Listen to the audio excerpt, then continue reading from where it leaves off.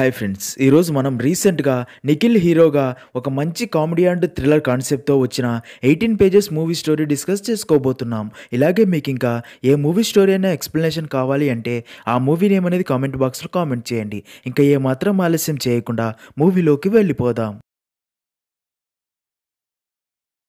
Movie start అవగానే మన మూవీలో హీరో అయిన నిఖిల్ సిద్ధార్థ సిద్ధుని చూపిస్తారు. అయితే సిద్ధు తన చుట్టూ ఎవరు ఉన్నారు ఏం జరుగుతుంది అని అస్సలు ప్రపంచంతో సంబంధం లేకుండా తను ప్రేమిస్తున్న ప్రీతితో చాట్ చేస్తూ రోజులో ఎక్కువ సమయం ప్రీతితో చాట్ చేయడానికి సరిపోతూ ఉంటుంది. ఎందుకంటే సిద్ధుకి ప్రీతినే ప్రపంచం కాబట్టి. ఇక్కడే మనకు తెలిసే ఒక విషయం ఏంటంటే సిద్ధు ఒక యాప్ డెవలపర్ అని. అయితే Siddhu hologram technology and three technology ద్వారా విర్చువల్గా ఎక్కడ ఉన్న వారినైనా సరే క్షణాల్లో మన ముందు ఉంచగలిగే యాప్ని తయారు చేసి దాన్ని బీటా వెర్షన్లోకి మార్చి త్వరలో తను పనిచేస్తున్న కంపెనీనే సిద్ధు యాప్ని అఫీషియల్గా లాంచ్ చేయాలి అనుకుంటూ ఉంటుంది. నెక్స్ట్ సీన్లో సిద్ధు పనిచేసే ఆఫీస్లోనే పనిచేసే బాగి అనే అమ్మాయిని చూపిస్తారు. Siddhu and Bagi close friends. Siddhu తన పర్సనల్ విషయాలన్నీ కూడా బాగితోనే షేర్ చేసుకుంటూ ఉంటాడు. ఇలా ఉండగా ఒకరోజు ప్రీతి బర్త్డే అవ్వడం వల్ల సిద్ధు ప్రీతికి జీవితంలో మర్చిపోలేని సర్ప్రైజ్ ఇవ్వాలి అని ఫిక్స్ అయ్యి అదే విషయం ఆఫీస్కి వెళ్ళి బాగితో విషయం అంతా చెప్పి తర్వాత ప్రీతికి ఫోన్ చేసి ఎప్పుడు కలుద్దామని అడగ్గా ఈవినింగ్ కలుద్దాం కలుద్దామని చెప్తుంది. దాంతో అలా కాసేపటికి సిద్ధు ప్లాన్ ప్రకారం మళ్ళీ ప్రీతికి ఫోన్ చేసి అర్జెంటుగా ఆఫీస్ వర్క్ పడింది బెంగళూరు వెళ్తున్నా ఈవినింగ్ రాలేను అని చెప్పడంతో ప్రీతి డిసప్పాయింట్ అవుతుంది. కానీ సిద్ధు డైమండ్ రింగ్ తీసుకొని ప్రీతికి సర్ప్రైజ్ ఇవ్వాలి అని ప్రీతి ఫ్లాట్కి వెళ్ళి అక్కడ దృశ్యం చూసి సిద్ధు షాక్ అవుతాడు. ఎందుకంటే మన ప్రీతి పాప అప్పటికే పీటర్ అనే మరొక బాయ్ ఫ్రెండ్తో క్లోజ్గా ఉంటుంది. ఇంకేముంది అది చూసిన మన సిద్ధు హార్ట్ బ్రేక్ అవుతుంది. అక్కడ నుండి తిరిగి వచ్చేసి ఫుల్గా తాగుతూ చాలా బాధపడుతూ ఉంటాడు. సీన్ కట్ చేస్తే ఈ విషయం తెలిసిన బాగి సిద్ధు రూమ్కి వచ్చి ఫుల్గా తాగి పడిపోయిన సిద్ధుని చూసి నాలుగు రోజుల్లో నీ యాప్ బీటా వెర్షన్ టెస్టింగ్ వారం రోజుల్లో యాప్ లాంచ్ పెట్టుకొని అమ్మాయి మోసం చేసిందని ఇలా బాధపడుతూనే ఉండిపోతావా అని నచ్చజెప్పి ఆఫీస్కి తీసుకొని వెళ్తుంది. అయితే అప్పటికే ప్రీతి తన ఇన్స్టాగ్రామ్లో పీటర్తో కలిసి దిగిన ఫోటో అప్లోడ్ చేసి అలాగే హ్యాష్ ట్యాగ్గా న్యూ లైఫ్ అని పెట్టి ఉంటుంది. అదే టైంకి ఆఫీస్లోని వారు పదే పదే అదే విషయం గురించి మాట్లాడుతూ ఉండడంతో సిద్ధుకి బాగా కోపం వచ్చి ప్రీతి పీటర్తో కలిసి ఉన్న ప్లేస్కి వెళ్ళి పీటర్ని బాగా కొడుతూ ఉండగా అదే టైంకే పోలీసులు అక్కడికి వచ్చి సిద్ధుని అరెస్ట్ చేసి పోలీస్ స్టేషన్కి తీసుకుని వెళ్తారు. నెక్స్ట్ సీన్లో ఈ విషయం కాస్త సిద్ధు ఫాదర్కి తెలిసి పోలీస్ స్టేషన్కి రాగా సిద్ధు ఫాదర్ని చూసిన ఎస్ఐ మీ ఫాదర్ గురించి వెతుకుతూ ఉన్నాం. ఇలా ప్రతిరోజు పోలీస్ స్టేషన్కి రాకండి అని చెప్తూ ఉండగా దానికి సిద్ధు ఫాదర్ నేను నా కొడుకు కోసం వచ్చాను అని సిద్ధుని విడిపిస్తాడు. ఇక్కడే మనకు తెలిసే ఒక విషయం ఏంటంటే సిద్ధు వాళ్ళ తాతయ్య ఇంట్లో నుండి వెళ్ళిపోయి ఉంటాడు. అయితే సిద్ధు పేరెంట్స్ తన తాతయ్యని సరిగ్గా చూసుకోనందునే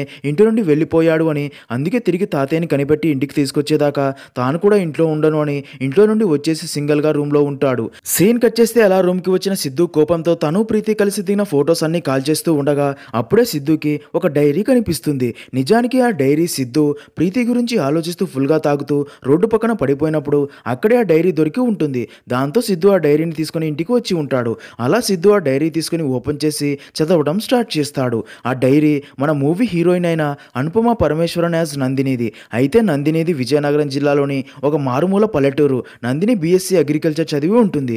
అయితే నందినికి అందరిలాగా ఫేస్బుక్ ఇన్స్టా ట్విట్టర్ వాట్సాప్ ఇలాంటి ఏ సోషల్ మీడియా అకౌంట్స్ కూడా ఉండవు. ఇన్ఫ్యాక్ట్ నందిని అసలు మొబైల్ కూడా యూస్ చేయదు. కానీ తన జీవితంలో చూసిన ప్రతి విషయాన్ని ప్రతిరోజు అక్షర రూపంలో తన డైరీలో రాసుకుంటూ ఉంటుంది. నెక్స్ట్ సీన్లో నందినికి తన తాతయ్య చనిపోయే ముందు ఒక ఎన్వలప్ కవర్ ఇచ్చి అది హైదరాబాద్లో ఉండే వెంకట్రావు అనే వ్యక్తికి ఇవ్వమని చెప్పి ఉంటాడు. దాంతో నందిని ఆ కవర్ తీసుకుని హైదరాబాద్కి వెళ్ళి అక్కడే ఉండే తన ఫ్రెండ్ అయిన సంజనాని కలిసి తన రూమ్లోనే ఉండేందుకు వెళ్తుంది. అయితే సంజన రూమ్లో ఉండే తన ఫ్రెండ్స్ అందరూ కూడా ఎవరితో మాట్లాడకుండా ఎప్పుడూ తమ మొబైల్స్ అండ్ ల్యాప్టాప్స్ చూసుకుంటూ బిజీగా ఉండడంతో వారిని మార్చాలి అనుకుంటుంది. అలా ఒకరోజు రూమ్లో బొద్దింకని చూసి అందరూ కలిసి దాన్ని చంపడం నందిని చూసి వారితో ఈ నేచర్లో ఒక ప్రాణి మరొక ప్రాణిని తినడానికి తప్ప చంపకూడదు అని చెప్తుంది. సిద్ధు ఆ డైరీని చదువుతూ నందిని ఇష్టాయిష్టాలు చూసి ఈ కాలంలో Facebook Insta WhatsApp social media apps ఏవి కూడా వాడకుండా ఉండడం చూసి షాక్ అయ్యి తను కూడా ఆ డైరీ చదువుతూ నందినిలాగా ఉండడానికి ట్రై చేస్తూ ఉంటాడు. అదే విషయాన్ని బాగీకి చెప్తూ ఉంటాడు. మరుసటి రోజు ఆఫీస్ బాస్ సిద్ధు అండ్ బాగీతో ఒక ప్లేస్కి వెళ్ళి క్లయింట్స్కి యాప్ ప్రెజెంటేషన్ ఇచ్చిరామని పంపుతాడు. అయితే సిద్ధు తను నందినిలాగే ఉండాలి అనుకుని అడ్రస్ గూగుల్ మ్యాప్స్లో చూడకుండా హ్యూమన్ ఇంటరాక్షన్ కోసం అడ్రస్ అడుగుతూ వెళ్తారు. అలా కాసేపటికి ఆఫీస్ బాస్ సిద్ధు అండ్ బాగీకి ఫోన్ చేసి మీరు క్లయింట్స్ని కలవడానికి వెళ్ళకుండా ఇంకా ఎక్కడ తిరుగుతున్నారు? ఆల్రెడీ క్లయింట్స్ వెయిట్ చేసి అక్కడ నుంచి వెళ్ళిపోయారని బాగా తిడతాడు. చెప్తాడు మరోపక్క డైరీలో భాగంగా నందిని కవర్ మీద ఉన్న వెంకట్రావు అడ్రస్కి వెళ్ళగా అక్కడ వెంకట్రావు ఉండడు. దాంతో నందిని వెంకట్రావు గురించి అక్కడ వారిని అడగ్గా వెంకట్రావు ఈ సనాతన ఆశ్రమానికి వచ్చి చాలా రోజులైంది అని కానీ ఒక కేసు విషయంలో క్రిమినల్ లాయర్ అయిన పద్మనాభం గారిని ఎక్కువ కలుస్తూ ఉండేవాడంట అని చెప్పడంతో అది విన్న నందిని లాయర్ పద్మనాభంని కలవాలి అనుకుంటుంది. మరోపక్క సిద్ధు అండు బాగి తిరిగి ఆఫీస్కి వస్తూ ఉండగా అప్పుడే రోడ్డు పక్కన కారు చెడిపోయి మురుగన్ అనే వ్యక్తి సిద్ధు కారు ఆపి ఎయిర్పోర్ట్ దాకా లిఫ్ట్ అడగడంతో సిద్ధు తనని కారు ఎక్కించుకుంటాడు సిద్ధు అండ్ బాగి బాగా టెన్షన్ పడుతూ ఉండడం గమనించిన మురుగన్ ఏం జరిగింది? అని అడగ్గా దానికి సిద్ధు మూడు సంవత్సరాలు కష్టపడి తయారు చేసిన యాప్కి ఫలితం లేకుండా పోయింది అని తన యాప్ గురించి అంతా చెప్తాడు. అదంతా విన్న మురుగన్ ఎయిర్పోర్ట్ రాగానే తన దగ్గర దిగిపోతాడు. సీన్ కట్ చేస్తే అలా సిద్ధు అండ్ బాగి ఆఫీస్కి రాగానే తమ బాస్ వారి మీద చాలా కోపంగా ఉండి జాబ్ నుండి తీసేయాలి అనుకునే టైంకే క్లయింట్ నుండి వీడియో కాల్ వస్తుంది. ఇక్కడే అదిరిపోయే ట్విస్ట్ ఏంటి? అంటే ఆ క్లయింట్ ఎవరో కాదు సిద్ధు లిఫ్ట్ ఇచ్చిన మురుగనే. మురుగన్ సిద్ధుతో నీ యాప్ నాకు చాలా బాగా నచ్చింది. అంతకంటే నీ క్యారెక్టర్ ఇంకా బాగా నచ్చింది. నువ్వు చెప్పిన హ్యూమన్ ఇంటరాక్షన్ కాన్సెప్ట్ సూపర్ అని ఈ ప్రాజెక్ట్ మీకేస్తున్నా ఆల్ ది బెస్ట్ అని చెప్తాడు. దాంతో అది విన్న అందరూ కూడా చాలా హ్యాపీగా ఫీల్ అవుతారు. అదంతా చూస్తున్న సిద్ధు మళ్ళీ ఆ డైరీ తీసుకొని చదవడం స్టార్ట్ చేస్తాడు. ఒకరోజు నందిని ఫ్రెండ్ సంజన రూమ్లో ఒంటరిగా బాధపడడం నందిని చూసి రూమ్లో వైఫై ఆఫ్ చేసి అందరినీ పిలిచి నందిని సంజనతో నువ్వు ఎందుకు ఇంతలా బాధపడుతున్నావు? అని అడగ్గా దానికి సంజన సతీష్ నన్ను మోసం చేసి మరొక అమ్మాయితో తిరుగుతున్నాడు. అంటుంది. అది విన్న నందిని తను నేను నిజంగా లవ్ చేయలేదు. ఒకవేళ చేసి ఉంటే మరొక అమ్మాయికి అట్రాక్ట్ అయ్యేవాడు కాదుగా. అలాగే నువ్వు కూడా తనని లవ్ చేయలేదు. నిజంగా నువ్వు తనని లవ్ చేసి ఉంటే అతని వీక్నెస్ని యాక్సెప్ట్ చేయకపోయినా సరే తనని క్షమించేదానివి. ప్రేమ లేని చోట బ్రేకప్ ఏంటి? చీటింగ్ ఏంటి? అని చెప్పడంతో సంజన రియలైజ్ అవుతుంది. అదంతా చదివిన సిద్ధుకి నందిని క్యారెక్టర్ మరింత నచ్చేస్తుంది. అలా బాగా ఆలోచించి ప్రీతి దగ్గరికి వెళ్ళి నీ విషయంలో కొంచెం ఓవర్గా రియాక్ట్ అయ్యాను అని ఇద్దరికి సారీ చెప్పి అక్కడ నుండి వచ్చి తను కూడా ఆ రోజు నుండి నందినిలాగా ఉండడం స్టార్ట్ చేస్తాడు. అలాగే ఫోన్కి సోషల్ మీడియా యాప్స్కి దూరంగా ఉంటూ నందినిని ఇష్టపడడం స్టార్ట్ చేస్తాడు. నెక్స్ట్ సీన్లో అలా సిద్ధు ఫోన్ లేకుండా తన చుట్టూ ఉన్న వారితో మాట్లాడుతూ తన చుట్టూ ఉన్న ప్రపంచం చూడడం స్టార్ట్ చేస్తాడు. అలా ఒకరోజు సిద్ధు మతిస్థిమితం లేకుండా రోడ్డు పక్కన కూర్చొని అడుక్కుంటున్న తన తాతయ్యని చూసి షాక్ అయ్యి తనని చూస్తూ గతం గుర్తు చేసుకుంటాడు. నిజానికి సిద్ధు తాతయ్య ప్రతిరోజు కూడా సిద్ధు ఆఫీస్ బయట కూర్చొని ఉంటాడు. కానీ సిద్ధు తన ఫోన్ బిజీలో పడి ఎదురుగా ఉన్నది ఎవరు అని కూడా చూడకుండా తనకి డబ్బులు వేసి వెళ్ళిపోతూ ఉంటాడు. దాంతో సిద్ధు చాలా బాధపడి తన తాతయ్యని ఇంటికి తీసుకెళ్ళి తన పేరెంట్స్తో నానమ్మ చనిపోయాక డిప్రెషన్లోకి వెళ్ళిపోయి తనతో ఎవరు మాట్లాడేవారు లేక తాతయ్య ఇలా అయిపోయాడు అని ఇప్పటికైనా డబ్బు మీద చూపించే ప్రేమ కొంచెమైనా తాతయ్య మీద కూడా చూపించండి నాన్న అని మళ్ళీ నార్మల్ అయిపోతాడు తాతయ్య అని చెప్తాడు. దాంతో తన పేరెంట్స్ సిద్ధు తాతయ్యని జాగ్రత్తగా చూసుకుంటామని మాటిస్తారు. మరో పక్క నందిని వెళ్ళి లాయర్ పద్మనాభంని కలిసి విషయమంతా చెప్పగా అది విన్న పద్మనాభం వెంకట్రావు ఆశ్రమం హియరింగ్ కేసు సోమవారం ఉంది. ఆ రోజు వస్తాడు అని చెప్పడంతో నందిని సోమవారం వస్తామని చెప్పి వెళ్ళిపోతుంది. అయితే అప్పుడే వెల్డింగ్ షాప్లో పనిచేసే ఒక వ్యక్తి నందిని వెంట ఫాలో అవుతూ రావడం గమనించి తన నుండి తప్పించుకొని పారిపోతుంది. అదంతా చదివిన సిద్ధు బాగితో విషయం చెప్పి వాడిని ఉతికి ఆరేసి వస్తా అని బయలుదేరబోగా.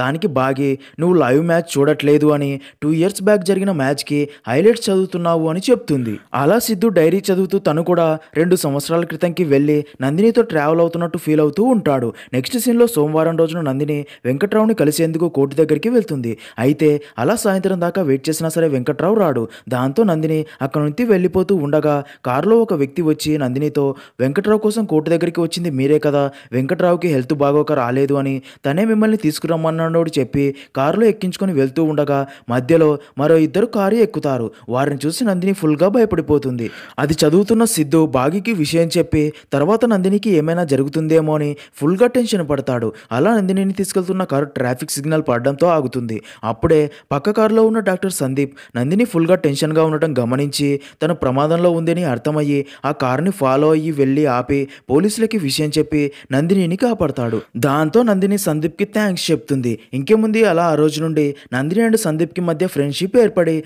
రోజు రోజుకి క్లోజ్ అవుతూ ఉంటారు. దాంతో అది చదువుతున్న సిద్ధు నందిని అండ్ సందీప్ ఎక్కడ ప్రేమించుకుంటారో అని భయపడి డైరీ తర్వాత చదవడం ఆపేసి బాధపడుతూ ఉంటాడు. అది చూసిన బాగి అలా ఏం జరగదు అని సిద్ధుకి ఫీవర్గా ఉండడంతో సిద్ధు పక్క ఫ్లాట్లోనే ఉండే డాక్టర్ సందీప్ని తీసుకొచ్చి ట్రీట్మెంట్ చేయిస్తుంది.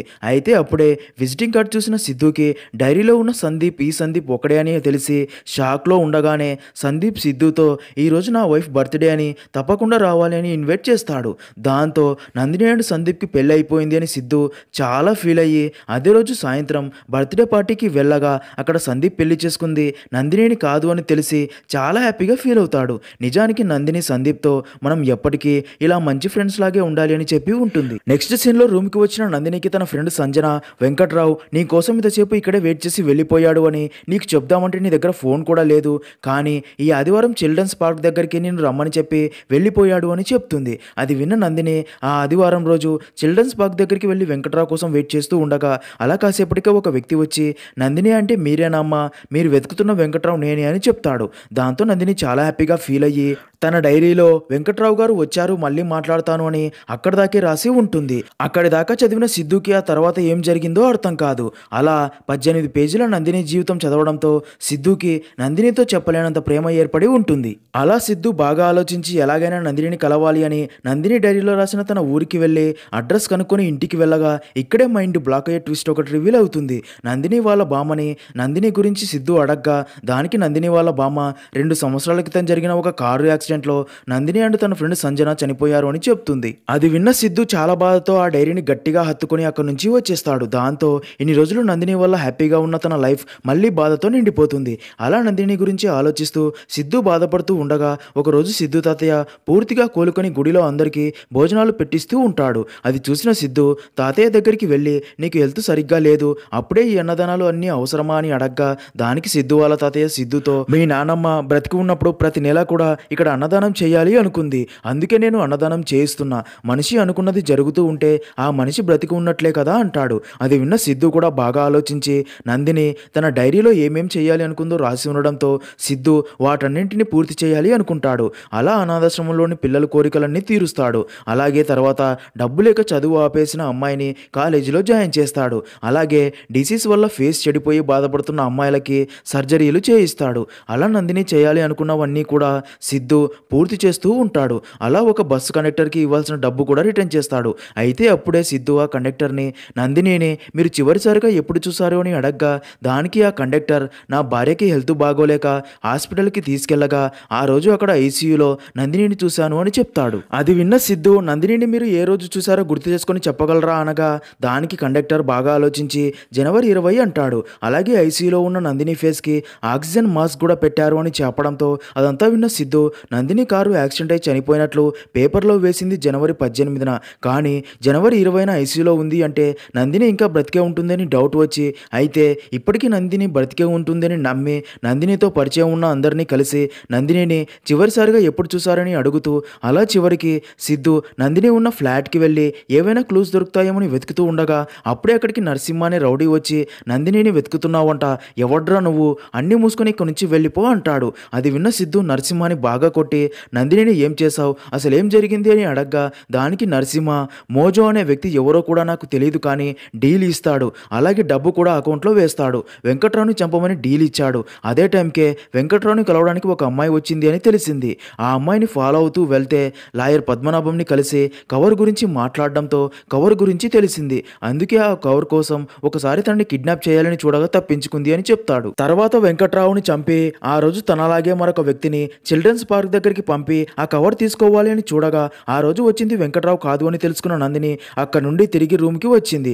దాంతో తనని చంపి అయినా సరే ఆ కవర్ తీసుకోవాలని రూమ్కి వచ్చి తనని బాగా కొట్టినా సరే తప్పించుకొని ఆ కవర్ తీసుకొని అక్కడ నుండి తన ఫ్రెండ్తో పాటు కారులో పారిపోయింది. అయినా సరే నేను తనని వదలలేదు. తన కార్ని ఫాలో అయ్యి వెళ్ళి యాక్సిడెంట్ చేసి తన బ్యాగ్ తీసుకొని చూడగా అందులో డైరీ తప్ప కవర్ లేదు. ఆ డైరీ అక్కడే రోడ్డు పక్కన పడేసి అక్కడ నుండి వెళ్ళిపోయాను అంటాడు. తర్వాత వాళ్ళకి ఏమైందో కూడా నాకు తెలియదు అని చెప్పడంతో అదంతా విన్న సిద్ధు నందినిని రక్తం వచ్చేలా కొట్టాడు అనే కోపంతో నరసింహాని బాగా కొడుతూ ఉండగా అక్కడ నుండి తప్పించుకొని పారిపోతాడు. నెక్స్ట్ సీన్లో సిద్ధు బాగీకి జరిగిందంతా చెప్పి ఆ రోజు రూమ్లో నుండి కవర్ తీసుకుని వెళ్ళింది కానీ తన బ్యాగ్లో కవర్ లేదు అంటే ఈ మధ్య డిస్టెన్స్లో ఎక్కడో ఆ కవర్ దాచి ఉండాలి అని బాగా ఆలోచించి అక్కడే ఉన్న పోస్ట్ బాక్స్ చూసి డౌట్ వచ్చి అది ఓపెన్ చేసి చూడగా అందులో కవర్ ఉంటుంది. సిద్ధు ఆ కవర్ ఓపెన్ చేసి చూడగా అందులో వజ్రా కంపెనీ కన్స్ట్రక్షన్కి చెందిన ఎంఎన్సీ ఆఫీస్ లేఅవుట్ ఉండడంతో సిద్ధు వెంటనే వజ్ర కంపెనీ ఎండీ రాకేష్ని కలిసి నందిని గురించి అలాగే వజ్ర కన్స్ట్రక్షన్ లేఅవుట్ మ్యాప్ గురించి అడగ్గా రాకేష్ కొంచెం టెన్షన్ పడుతూనే ఇలాంటి లేఅవుట్స్ నెట్లో చాలా ఉంటాయి నాకు తెలియదు అంటాడు. మోజో గురించి అడిగినా సరే ఈ పేరు ఫస్ట్ టైం వింటున్నా అంటాడు. అయితే సిద్ధు వెళ్ళిపోయాక తన ఆఫీస్లో పనిచేసే మోజోని పిలిచి సిద్ధుని చంపి ఆ కవర్ని తీసుకొని రమ్మని పంపుతాడు. నెక్స్ట్ సీన్లో అలా సిద్ధుని చంపడానికి వచ్చిన మోజో గురించి సిద్ధు అంతా తెలుసుకొని మోజోని పట్టుకొని బాగా కొట్టి అసలు ఈ కవర్ కోసం ఇవన్నీ వజ్ర ఎందుకు చేస్తున్నాడు? అంటే దీని వెనకాల ఏదో సీక్రెట్ ఉంది అది ఏదో చెప్పు అని అడగడంతో భయపడిన మోజో జరిగింది చెప్పడం స్టార్ట్ చేస్తాడు. మా ఎండి రాకేష్ గారికి సిటీలో ఉన్న మెయిన్ వాల్యుబుల్ ప్రాపర్టీస్ అన్నీ దక్కించుకొని తన కంపెనీ అభివృద్ధి చేసుకోవాలి అని ల్యాండ్స్ అన్ని భయపెట్టి బెదిరించి లాక్కునేవాడు. అలా సిటీ సెంటర్లో ఉన్న సనాతన ఆశ్రమం గురించి తెలుసుకుని వాస్తు విశ్వనాథ శాస్త్రి గారికి ఆ ల్యాండ్ గురించి చెప్పగా అది చాలా మంచి ప్లేస్ అని అక్కడ ఏది మొదలుపెట్టినా సరే లాభాల పంట కురుస్తుంది అని చెప్పడంతో రాకేష్ వెళ్ళి ఆ సనాతన ఆశ్రమం నడిపి బాబా దగ్గరికి వెళ్ళి ఆ ల్యాండ్ తనకి రాసివ్వమని అడగ్గా దానికి బాబాజీ ఈ ల్యాండ్ని అమ్మాలని కానీ ఎవరికైనా ఇవ్వాలి అని కానీ అనుకోవట్లేదు అని చెప్తాడు. దాంతో రాకేష్ కోపంతో అక్కడి నుంచి వెళ్ళిపోయి అదే రోజు రాత్రి తన మనుషులతో ఆ ఆశ్రమంలో ఫైర్ యాక్సిడెంట్ అయ్యేలా చేయడంతో ఆరు మంది పిల్లలు అలాగే బాబాజీ చనిపోతాడు. తర్వాత ఆ ఆశ్రమంకి కొత్త చైర్మన్ వస్తాడు. దాంతో వాడితో సైన్ చేయించుకొని రాకేష్ అక్కడే ఒక బిల్డింగ్ కూడా కడతాడు. అప్పుడే ఇదంతా చూస్తున్న బాబాజీ శిష్యుడు వెంకట్రావుకి కోపం వచ్చి కోర్టులో కేసు వేస్తాడు. లాయర్ పద్మనాభం ఎంత కష్టపడుతున్నా సరే సరైన ఆధారాలు లేక ఆ కేసు అలా నడుస్తూనే ఉంటుంది. అలాంటి సమయంలో విశ్వనాథ శాస్త్రి చనిపోయే ముందు తన మనవరాలైన నందినితో వెంకట్రావుకి ఇవ్వమని ఒక లెటర్ పంపాడు అని తెలిసి రాకేష్ భయపడి చచ్చిపోతున్నాడు. అసలు ఆ లెటర్లో ఏముందో చనిపోయిన విశ్వనాథ శాస్త్రికి చంపిన వెంకట్రావుకి అలాగే మా ఎండి రాకేష్కి మాత్రమే తెలుసు అని చెప్తాడు. అప్పుడే సిద్ధు మరి నందిని ఎక్కడ ఉంది అని అడగ్గా దానికి మోజో చనిపోయింది అని నందిని చనిపోయినట్టు ఉన్న డెత్ సర్టిఫికేట్ చూపిస్తాడు. ఆ డెత్ సర్టిఫికేట్ చూసిన సిద్ధు డాక్టర్ సందీప్ దగ్గరికి వెళ్ళి నందిని చనిపోయినట్టు డెత్ సర్టిఫికేట్ మీద సైన్ చేసింది నువ్వే. నిజం చెప్పు సందీప్. నందిని నిజంగా చనిపోయిందా? నువ్వు ఏదో దస్తున్నావు అనగా సందీప్ మైండ్ బ్లాక్ అయ్యే ట్విస్ట్ ఒకటి రివీల్ చేస్తాడు. ఆ రోజు కార్ యాక్సిడెంట్లో సంజన మాత్రమే చనిపోయింది. కానీ కొన ఊపిరితో ఉన్న నందినిని చూశాక తను బ్రతికి ఉంది అని బయట తెలిస్తే తన ప్రాణానికి ప్రమాదమని అందరికీ కూడా నందిని చనిపోయినట్లు నమ్మించి ఎవరికీ తెలియకుండా సీక్రెట్ ప్లేస్లో ఉంచి నందినికి ట్రీట్మెంట్ చేస్తున్నా అని చెప్పడంతో నందిని బ్రతికే ఉందని తెలిసిన సిద్ధు చాలా హ్యాపీగా ఫీల్ అవుతాడు. అసలు ఫేస్ కూడా చూడకుండా ఒక అమ్మాయి కోసం సిద్ధు ఇంత చేశాడు అంటే బహుశా ఇదేనేమో ప్రేమ అంటే. అలా సందీప్ సిద్ధు అండ్ బాగీని నందిని ఉన్న ప్లేస్కి తీసుకొని వెళ్తాడు. అయితే సిద్ధు నందినిని దూరం నుండి చూసి అక్కడి నుండి తిరిగి వచ్చేస్తాడు. ఎందుకంటే సిద్ధు ఇప్పటిదాకా నందిని కోసం చేసిందంతా తనకి తెలియకూడదు అనుకుంటాడు. ఎందుకంటే ఇదంతా చేశాను కాబట్టే తనని ప్రేమించాలి అనే ప్రేమ వద్దు అని. సీన్ కట్ చేస్తే అలా ఆరు నెలలు గడిచిపోతాయి. నందిని పూర్తిగా కోలుకున్న తర్వాత తన ఫ్లాట్కి రాగా అక్కడ పనిచేసే అమ్మాయిని చూసి సారీ గౌరీ నేను చదివిస్తా అని మాట ఇచ్చాను కానీ నిన్ను ఇప్పటిదాకా కాలేజీలో జాయిన్ చేయించలేకపోయానగా దానికి గౌరీ నేను ఇప్పుడు టీసీఎస్లో జాబ్ కూడా చేస్తున్నా నాకు స్టడీలో సిద్ధు అన్న హెల్ప్ చేశాడు అని చెప్తుంది. తర్వాత ఆశ్రమంకి వెళ్ళగా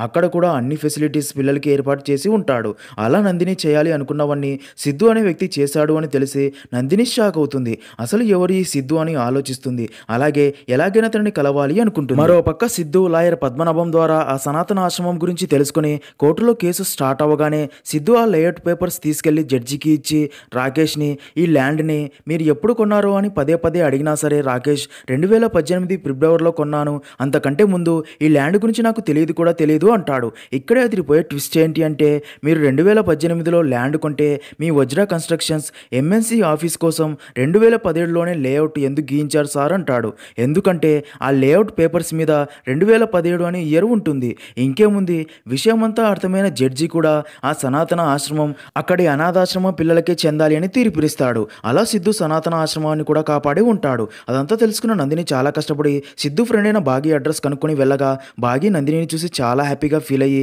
సిద్ధు గురించి అంతా చెప్పి సిద్ధుకి నువ్వంటే ప్రాణం కానీ ఇదంతా నీకోసం చేశాడు అని నీకు తెలిసి నువ్వు తనని ప్రేమించడం ఇష్టం లేక ఆ రోజు నిన్ను కలవడానికి వచ్చి కలవకుండా వెనక్కి వచ్చేశాడు అని అలాగే ఇప్పుడు నీ చివరిగా మిగిలిపోయిన కోరిక నీ పేరెంట్స్ డెత్ యానివర్సరీ రోజు కాశీలో పూజలు చేయించడానికి కాశీకి బయలుదేరాడు అని చెప్తుంది. అదంతా విన్న నందిని వెంటనే రైల్వే స్టేషన్కి వెళ్ళి కాశీ వెళ్తున్న ట్రైన్ ఎక్కేస్తుంది. అలా నందిని వెళ్ళి ట్రైన్లో ఎక్కి సీట్లో కూర్చుంటుంది. కానీ నందిని కూడా ఇప్పటిదాకా సిద్ధుని చూడలేదు. అలా ఇద్దరు ఎదురెదురు సీట్లోనే కూర్చొని ఉంటారు కానీ చూసుకోరు. అప్పుడే సిద్ధు మాటలు అలాగే తనలాగే బిహేవ్ చేయడం చూసి తనే సిద్ధు అని అర్థం చేసుకున్న నందిని వెళ్ళి తన పక్కన కూర్చొని తన షోల్డర్ మీద తలపెట్టి పెట్టి చాలా హ్యాపీగా ఫీల్ అవుతుంది. సిద్ధు కూడా నందినిని చూసి చాలా హ్యాపీగా ఫీల్ అవుతాడు. ప్రేమించడానికి కారణం ఉండకూడదు కరెక్టే కానీ ఒక మంచి కారణం వల్ల పుట్టిన ఇంత గొప్ప ప్రేమని ఎలా కాదనగలం అనే మాటలతో మూవీ అనేది ఎండ్ అవుతుంది.